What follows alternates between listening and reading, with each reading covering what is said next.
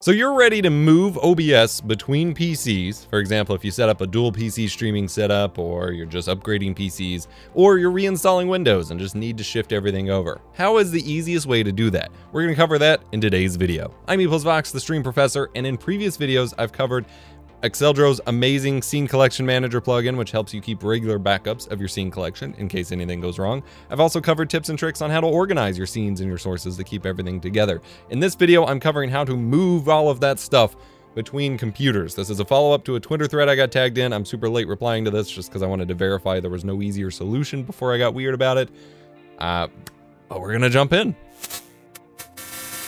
First and foremost, before you reinstall Windows, move computers, do whatever you're doing, you need to back up what you have. So for your profile, which contains your resolution, your frame rate, your encode settings, your hotkeys, all of that stuff, you go up here to profile and you click export. And then you select a folder and it's gonna automatically make a folder like it has here because I've already made this video because nothing has gone right this week and hit select folder and it will back it up. Same thing for scene collection. Go to scene collection, export, and click save.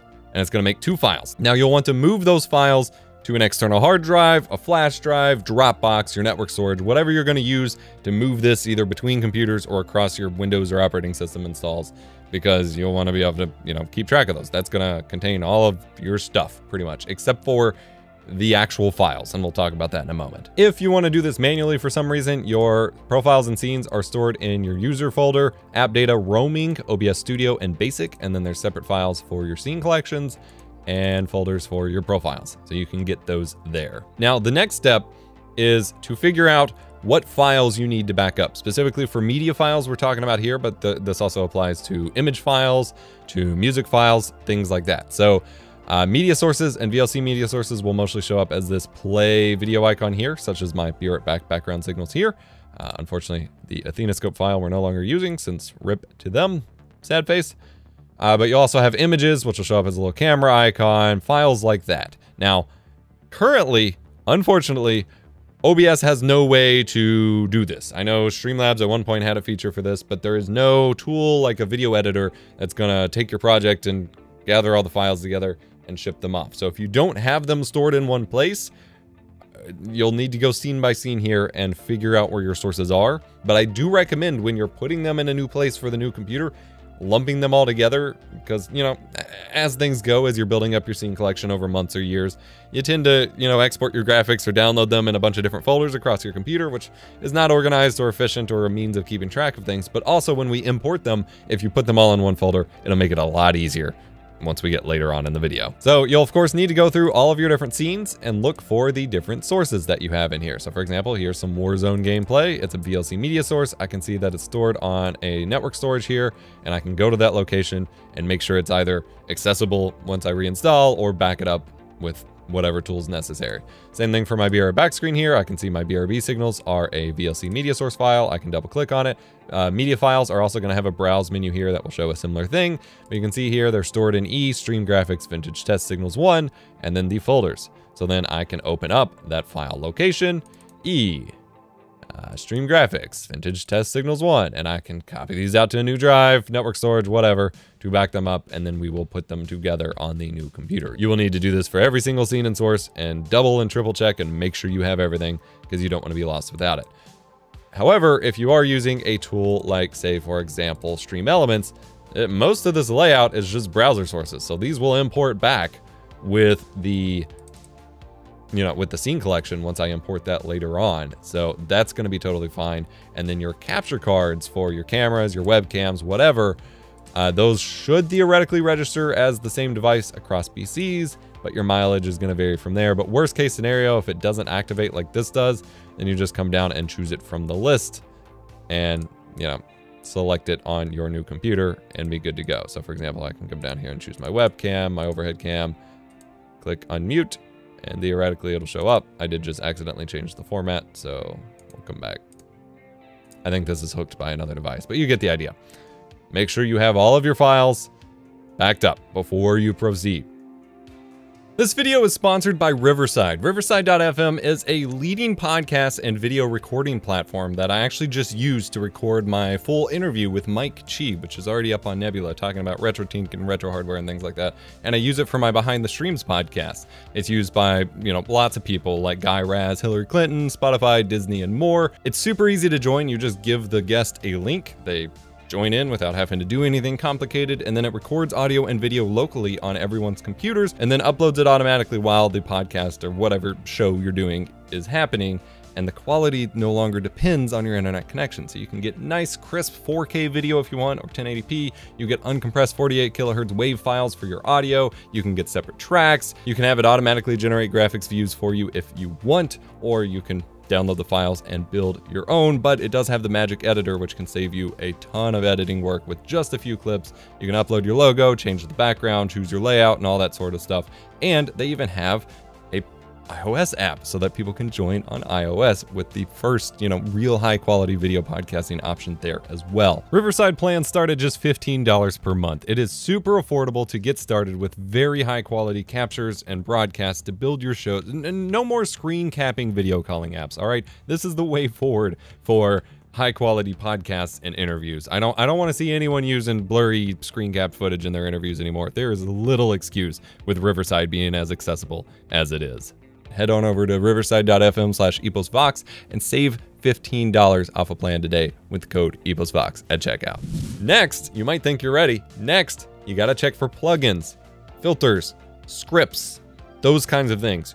You, you don't want to open your scene collection without those because it could break everything. So, before you do anything else, it's time to poke around. Looking for plugins can be kind of annoying because there's no kind of, that I'm aware of, universal list of where they're at. But you can usually find some under tools this is gonna, this doesn't have any. So if you see anything that's not in this list right now, it's probably a plugin.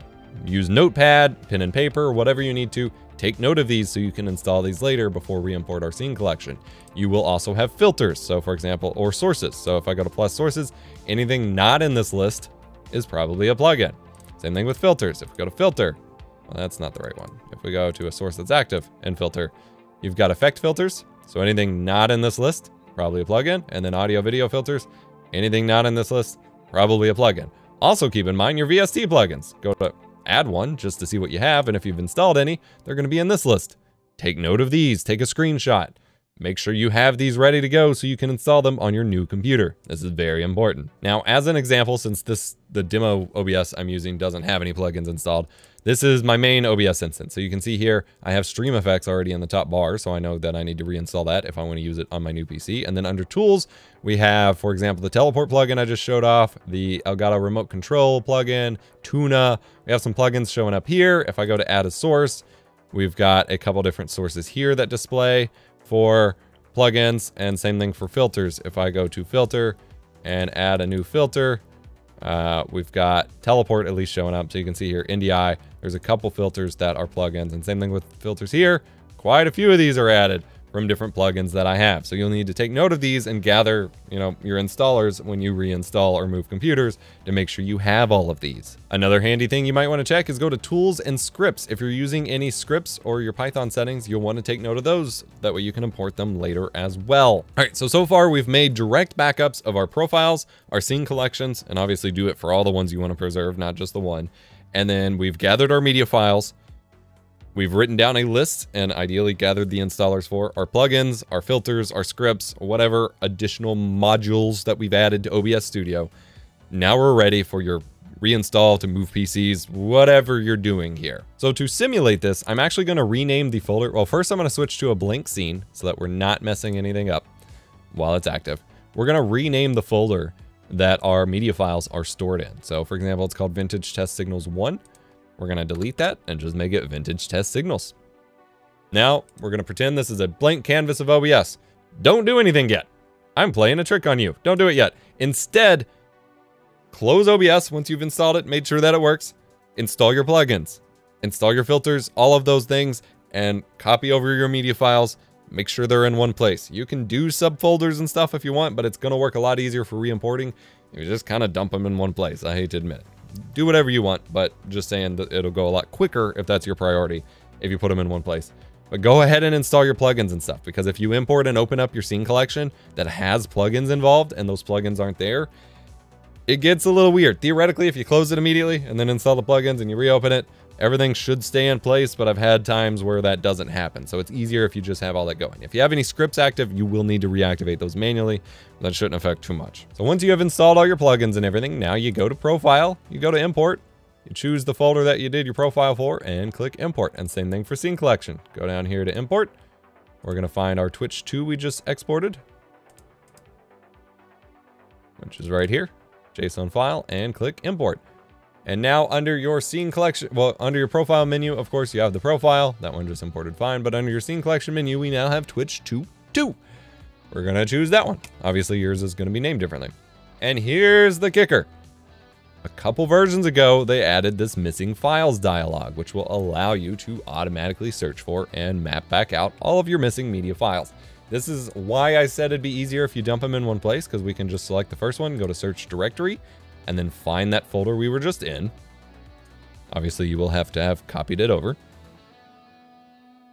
Stream graphics, vintage test signals, select folder. It's going to automatically find all the missing files. This one is one that just doesn't exist anymore at all, so we're going to ignore it, but, you know, do whatever here. And click apply. And bam! We're back! It was that easy. Obviously, from here, of course, you want to go through, make sure all your scenes are working, make sure everything's loading. If you have specific capture devices, you'll want to make sure that they're mapped out to the correct devices in here. Make sure everything's reading appropriately.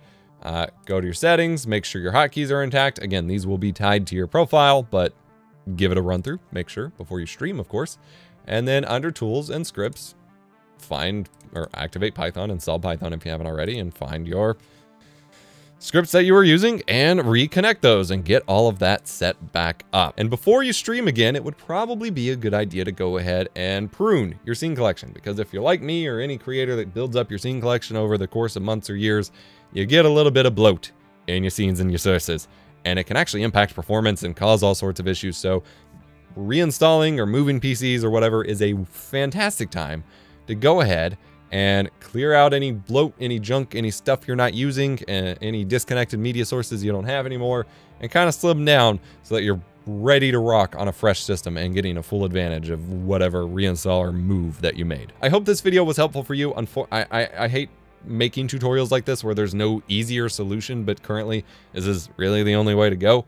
Like I said, this was in response to a Twitter thread. Sorry it took me so long. I just really wanted to make sure that there wasn't a plugin I missed because I get comments all the time whenever I pose a solution I've been using for a long time and they're like, dude, a plugin released like six days ago. Why didn't you know? I don't get notifications for that stuff. So here you go. Here's my option for you. I do hope you enjoyed. Hit the like button if you did. And remember, be kind, rewind. I'll have links to the tutorials for organizing your scenes and sources if you want to start fresh or clean up your scenes and sources, as well as the Scene Collection Manager plugin linked below.